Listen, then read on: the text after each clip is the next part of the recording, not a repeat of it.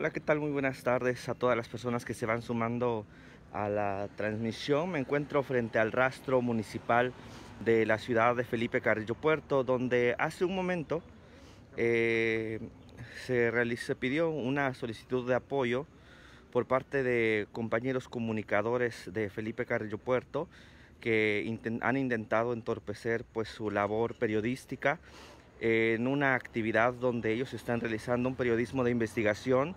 Eh, requirieron llegar hasta el rastro municipal de Felipe Carrillo Puerto para conseguir imágenes eh, de la, del tema que estarían escribiendo y más tarde publicando en redes sociales. Y pues bueno, hasta esta zona eh, fue en un intento este, por retenerlos, al parecer el administrador de este rastro municipal eh, intentó retenerlos dentro de este predio, alegando que es una propiedad privada, cuando el rastro municipal es un lugar público, si bien es un predio que le corresponde al ejido eh, administrarlo, ha otorgado una renta a modo de concesión que pues bien esto le da eh, pues la categoría de un lugar público y pues bueno esto es lo que eh, se, lo que sucede en Felipe Carrillo Puerto. Ha sido por parte del director eh, del, del este de la administración del rastro en Felipe Carrillo Puerto. Y pues bueno en un momento más vamos a dialogar con nuestro compañero nuestros dos son dos compañeros. Juan José. Ahorita viene este, José porque le, le, dijeron que borre todo lo que había grabado y tomado no para poder salir Gracias Luis. Este, pues venimos José, José y yo a grabar el rastro. Y este... Le comento a la audiencia que ustedes estaban en una actividad de un periodismo de investigación, por lo cual han requerido imágenes de este eh, desde las instalaciones del rastro público municipal, ¿es así? Por supuesto, este Luis, nosotros este, venimos, hablamos con inclusive con el presidente elegido eh, don Besituc, Elías Besituc, y nos dijo, sí, pues el, rastro finalmente, las instalaciones, el terreno es elegido, y nos dijo que sí, no había ningún inconveniente. Te digo, venimos aquí con el, con el señor y nos dijo que sí, y ya después eh, llamó a la persona y ocurrió lo que, lo que pasó, ¿no? O sea, nos encerró, nos dijo que no podemos salir. Que... Eh, usted me dijo, comandante, que por favor... le dije era de que si podían atender el tema del protocolo de, hacer el oficio y que les permitieran el acceso y que si tenían alguna toma, que por favor la borraran. Eso fue, no, jamás le toqué el teléfono a nadie. Ajá, pero me lo, o sea, comandante, sin caer en dime si me pidió el teléfono a petición también del joven. O sea, le dije, yo no voy a dar mi teléfono. Yo no le, yo no le pedí el teléfono. José sí se lo mostró. que jamás le voy a pedir el teléfono a nadie. José sí se lo mostró, bueno, pero es, no vamos a caer en, diferencias personales, no, o sea, yo estoy diciendo lo que usted me comentó acompañado de lo que yo le comenté era de que si nos podía hacer favor de borrar los videos que habían hecho de allá que hicieran el protocolo, es todo. ¿Cuál es la razón de borrarlo? Existe un protocolo, existe un protocolo por que no sepa el público para poder ingresar al rastro municipal. No, el rastro es, público. Entonces, Nada más el, el, el, tema y desconozco, ¿ah? Y desconozco. Nosotros estamos atendiendo un llamado por parte del ayuntamiento de que hay unas personas que están filmando sin autorización correspondiente. Es todo. Sí. Pero siendo un, público, un lugar público, no se entiende por qué tendrían que presentar una solicitud o un escrito para que pudiesen acceder a un lugar que termina siendo público. Si bien es del elegido, en modo de concesión han dado en renta este espacio, por lo que lo convierte justamente en eso, en un lugar público. Bueno, sí, pero supongo que debe de tener algunas áreas que por motivo de seguridad no deberían de estar supongo, ¿ah? Este, digo, hay muchos apartados que la verdad este, deberían de, conocerse a todo, a todo el público. ¿ah? Este, eh, al final del día, este, yo pienso que es un malentendido y que no debió haber de haberse generado. ¿A través de qué figura usted recibe eh, la información o el aviso para que usted venga a intervenir? Del director general. Él es el llamado del ayuntamiento. Me pide de favor que vaya a atender un tema de un malentendido que hay aquí en el, en el rastro, sí que hay una persona que, este, que estaba filmando. Yo no tenía conocimiento que estaban retenidos, ni, mucho menos. ahora sí que vine a, atender el, dentro del mismo protocolo el tema de, mediación, de que las, partes se, arreglen si es que hay algún malentendido y, y destrabar el... ¿Pero era necesario exhortar a los compañeros a borrar el material que ya habían tenido? Bueno, esa fue solicitud del ayuntamiento, ¿no? Así que si habían hecho alguna toma, por eso se les preguntó si habían accedido a algún otro. Comandante, ¿a qué, qué le tiene miedo el ayuntamiento? ¿A las malas instalaciones? sé. Entonces, eh, ahí sí, No a usted sé, prácticamente no sé, lo agarraron para, para venir a... No sé, yo, yo no, la verdad. Porque este, sabemos que está en pésimas ya. condiciones esto y se sabe, ¿no? Primero, el- el- un rastro en forma es el de José María Morelos, aquí no lo tenemos, ¿no? Necesario que la gente sepa qué es lo que está consumiendo y qué es lo que está pasando. Bueno, en ¿usted sabe cuáles este, las normas que debe tener el, el rastro? Tenemos que, tiene que ser la Roma del TIF, que tiene que ser reglamentado para que pueda tomar Hemos escuchado que ha sido indicaciones del Ayuntamiento de Felipe Carrillo Puerto ordenar borrar unas imágenes que compañeros comunicadores habían tenido, obtenido más bien en el interior del rastro público municipal. Le repito a todas las personas que se van sumando, hemos llegado hasta las instalaciones del rastro público municipal en Felipe Carrillo Puerto, donde eh, a modo de eh, auxilio han solicitado apoyo dos compañeros comunicadores de Felipe Carrillo Puerto que han sido retenidos momentáneamente dentro de las instalaciones del rastro municipal. Los compañeros comunicadores estaban realizando un trabajo de periodismo de investigación. Al ser un lugar público han ingresado, han hecho algunas imágenes, probablemente eh, para dar a conocer eh, las condiciones en las que se encuentra el rastro público municipal. Al ser eh, divisados, han sido pues retenidos, han alegado por parte de los administradores del rastro público municipal que este que ellos están en, un, en una propiedad privada cuando este lugar, el rastro público municipal, no es un lugar eh, privado, es un lugar público justamente porque el ejido de Felipe Carrillo Puerto se lo renta al ayuntamiento y pues bueno, este lugar es, eh, eso lo convierte en un lugar público. El oficial hace un momento lo reconoció. Lo cuestionable aquí es que el oficial a la llegada hace contacto con los eh, compañeros eh, comunicadores y les ha pedido que borren el material que grabaron dentro de las instalaciones. En, una, eh, en un cuestionamiento claro, eh, yo le he preguntado de si existe un protocolo que, el público, que nosotros, incluso los comunicadores, no sabemos para ingresar a los lugares públicos. Le he preguntado también de quién ha venido la decisión o la, la determinación o la indicación de, indicar que borren estas imágenes que los compañeros han grabado. Ha dicho que es eh, eh, decisión del Ayuntamiento de Felipe Carrillo Puerto sin explicar sobre qué, qué figura cae. Ha dicho y ha hablado del ayuntamiento, pero pues bueno, esto es lo que podemos eh, informarle. Vamos a, a continuar aquí. Hasta ahora solamente han hecho eh, acto de presencia los, eh, pues los elementos de la policía de Quintana Roo. Y pues bueno, esto es lo que podemos eh, decirle.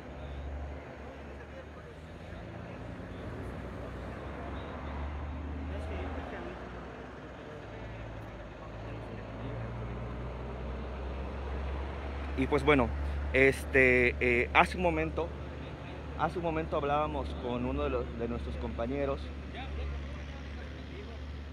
Estábamos con uno, antes de, la intervención con el, el oficial, eh, platicábamos justamente con Juan José. Juan José, él junto con otro compañero realizaban ese trabajo de investigación, periodismo de investigación, un periodismo responsable.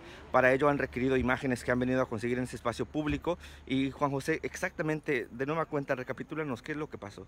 Siempre va a haber una, gracias Luis, eh, Luis Jam, eh, siempre va a haber una diferencia en dimes y diretes, lo que digan, argumenten los elementos policíacos es su defensa, lo que nosotros argumentemos va a ser nuestra defensa. Efectivamente estaba yo con, eh, con, con José Jam, venimos a grabar las instalaciones, que realmente no son instalaciones, es un chiquero este. Eh, hablamos con el señor, un señor muy amable, nos dijo, bueno, está bien, nos identificamos, y todavía me dijo, voy a tomar su nombre, le dije, sí, adelante, como tú sabes. Y con traigo- toda la acreditación incluso. Hasta traigo el, de- el del oficial de aquí, ¿no? Entonces, este, grabamos y todo, y de pronto llegó la persona que, viste, no sé cómo se llama de verdad, llegó y ordenó que cerraran, el señor vino, cerró con, candado, candado cerrado, eh, puso alambres en toda la puerta y nos dijo el señor, mientras él hacía eso, nosotros, el señor nos dijo que, que saliéramos porque lo habían regañado feo. Entonces sí, efectivamente salimos. Veníamos a salir cuando esta persona se subió al carro y nos amedrentó con acelerones. Entonces dimos la vuelta, José venía con su moto, dimos la vuelta. y él nos, se nos adelantó con el, con el vehículo, como ustedes lo vieron en, la- en las imágenes anteriores, atravesó el vehículo aquí y dijo que aquí nadie se va. Y le dijo al señor, no los deje salir hasta que venga la policía y se los lleve. Ah, bueno, y eso nos dijo el señor. Pues ya vieron ustedes, llegó los agentes policíacos, nos dijeron que no, inclusive los policías nos dijeron que solo nos van a dejar salir si les, si les entregamos el teléfono Y le borraban el y material. borramos el material. Mi compañero ya me dijo, pues es que yo no tengo información, yo vine acompañando. Ajá, y le dijeron, ah, usted no tiene problemas. No, realmente no tengo problemas, ¿no? Y yo le dije que no voy a ni entregar mi teléfono ni a borrar mi material, ¿no? Si ya llevo buen rato ahí lleno de excrementos Sí, de los- de los animales. Y este, pues ya como llegaron ustedes, ya no dijo nada, ya dijo, está bien, no, no- nos dijo que no nos vayamos, que, no- nos vayamos, que nos quedemos. Pero pues yo salí a, verlos, ya abrieron la puerta, vieron que abrieron la puerta, pues yo salí, ¿no? O sea, realmente el asunto aquí es delicado por aquello que está pasando en contra de los comunicadores. Tú eres un reportero, andas en la calle. Apenas ayer a nivel nacional hubo una movilización para, la- para exigir pues un alto a la violencia. Ayer en la tarde se movilizó, eh, se exige, no se exige respeto, se exige que se haga cumplir este derecho universal de la comunicación. Los funcionarios públicos están obligados, no lo digo yo, lo dice la Constitución, lo dicen los tratados internacionales, lo dice eh, los derechos humanos, eh, la Declaración de Derechos Humanos Internacional. Entonces, es- esto es delicado. La semana pasada, bueno, esta semana matan a una periodista en Tijuana. La semana pasada matan a otra periodista en- también en Tijuana, en Baja California. Eh, meses antes matan a otro en Guerrero. O sea, no es un asunto sencillo. No es un asunto sencillo. Gracias a que ustedes vienen, esta situación es clara. Y si no, y si no, ¿qué pasa con, con José Jan y conmigo? Porque nos tienen retenidos. El señor estaba llamando quién sabe a quién. Le dijo, vengan todos, o sea, por teléfono decía que vengan todos. No sé quiénes son todos. Qué bueno que llegaron ustedes porque estas cosas se deben dar a conocer. Es un lugar público, es un lugar público, claro, el, el terreno pertenece al ejido, pero las instalaciones son, son del ayuntamiento, ¿no? Horribles instalaciones. Entonces, este, nosotros entramos y, y repito, nos acreditamos, dijimos quiénes éramos y qué veníamos a hacer. La acción que hizo el señor este deja mucho que desear. ¿Logran identificar a esa persona? No sé cómo se llama porque tampoco lo dijo. Dijo que se iba a decir cómo se llama, pero no lo dijo. No lo dijo. Pero es trabajador del... Nos dice el señor que nos atendió, te digo que muy amablemente nos atendió, que él es el encargado del rastro. el administrador. Eso nos dijo nada más. Y que muy enojado le dijo que nos sacara porque él iba a cerrar el rastro. Bueno, sí lo hizo, sí cerró el rastro, pero nos dejó a nosotros adentro. Perfecto. Yo te agradezco, Luis, y a tu jefa, Georgina Gómez, que te haya pedido que vengas para que se dé a conocer estas situaciones, ¿no? Es un asunto sencillo, pero al mismo tiempo delicado, no es así de fácil. Los elementos que llevaron con ustedes ya se fueron, o sea, porque dicen que tienen muchas cosas más importantes que hacer. Bueno, eso Sobre ya- todo por la, el clima de incertidumbre que en este momento viven los comunicadores en todo México. Efectivamente, efectivamente, todos estamos eh, en riesgo, o sea, todos andamos solos y en un lugar de tránsito como es Carrillo Puerto, sea, todo puede pasar. Te agradezco mucho. No, a ti, este Luis.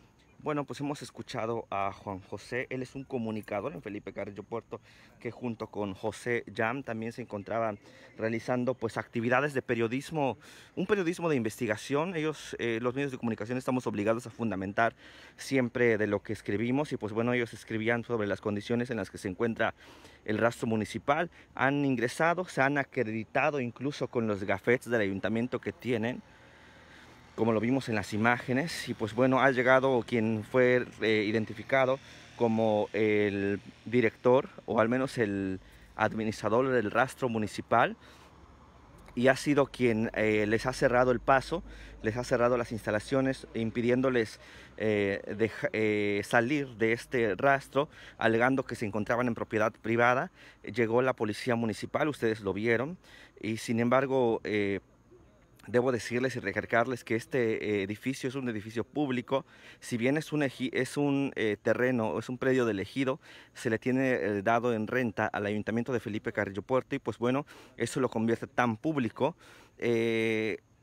los compañeros han grabado imágenes en sus teléfonos, la policía municipal ha llegado con la indicación del ayuntamiento porque así lo ha reconocido el oficial de que eh, les dé la indicación de que borren el material para que pudiesen salir dentro de las instalaciones del rastro eh, público municipal. Este llamado lo hemos atendido justamente porque los compañeros se sintieron en riesgo, se sintieron expuestos y pues bueno, es por eso que hemos eh, llegado a brindarles apoyo en las afueras de la ciudad de Felipe Carrillo Puerto, donde se encuentra el rastro municipal, sobre todo en este ambiente de incertidumbre que se vive cada vez más, bien lo dijo Juan José, el día de apenas ayer, una movilización tremenda que se realizó por parte de los diferentes eh, comunicadores de todo México, justamente pidiendo un periodismo eh, libre de la violencia y pues bueno, un día después, después de todo este manifiesto en Felipe Carrillo Puerto, lamentablemente un desatinado... Eh, eh, una desatinada indicación,